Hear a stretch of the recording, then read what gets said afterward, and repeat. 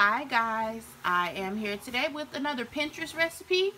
Now this recipe is going to be on Pinterest, but it's actually my recipe. So I'm just going to put it on my Pinterest and I will put the link in the description box for you. It's also on my blog if you would like to check it out there. But we are making sausage pot pie today. I know it's a little non-traditional, but I promise you it's going to be tasty. So I have some sausage chopped up here, and we'll go ahead and get cooking. Just sit back and relax and follow along with me. The recipe... the recipe with the ingredients and directions will be in the description box as I stated. So if you miss anything, don't panic. Just follow along and enjoy. Alright, here we have some chopped up onions and bell peppers here, red and green bell peppers or frozen seasoning blend as I like to use because I hate to chop up vegetables. But we have that with our Cajun seasoning sauteing down here and we're going to go ahead and add the sausage in with that next.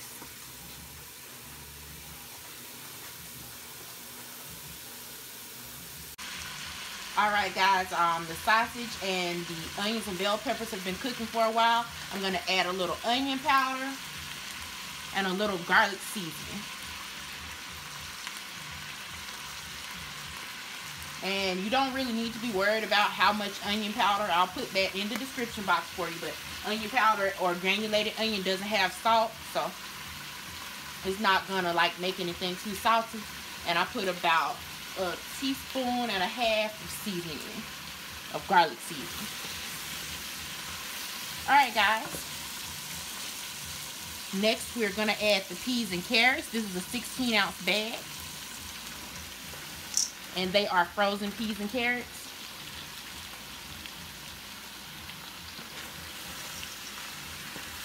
And we're to get this all mixed up and let this soften for just a little bit. Alright guys. Alright guys, I have some gravy here. I made this gravy before, so that's why it looks a little lumpy because it's frozen. But I have it kind of thawing out right here.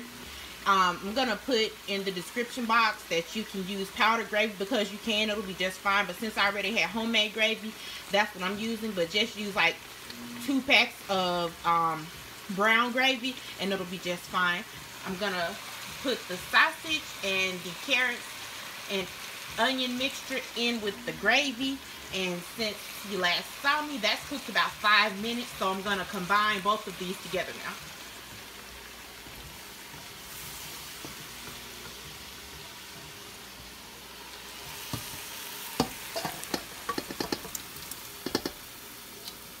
And I have recruited Babe to help me. These pots are a little heavy.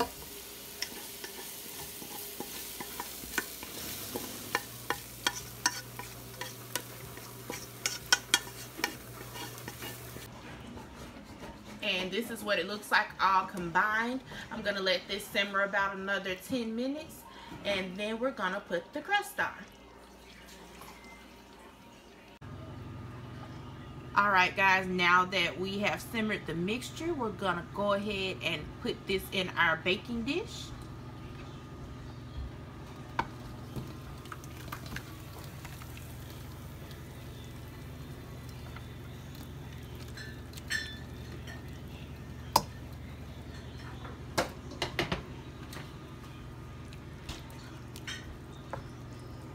And we're gonna top it with the crust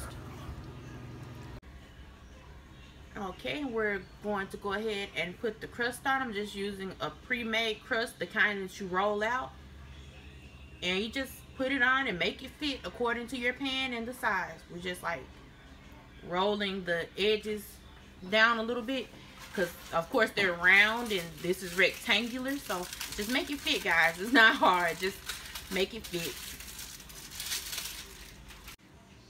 And here the dish is covered did a little cutting, a little patching. Doesn't have to look perfect, guys. You just want the filling covered, which is why I didn't drag the video out that long showing you guys. I know you know how to roll, roll out pre-made pie crust and put it over filling. But it's about to go in the oven. The oven is set to 375 and we're gonna go ahead and spray the top with some um, butter spray or you can use an egg wash if you want just egg and water but we're going to go ahead and use a butter vegetable spray. no, a butter spray. It's not a vegetable spray.